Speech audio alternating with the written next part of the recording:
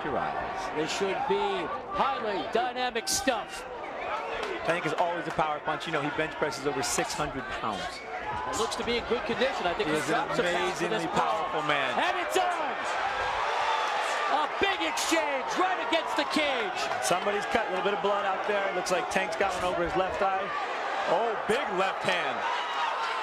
And just as we thought, these guys are going to pound on each other. Tank's always had trouble with his stamina.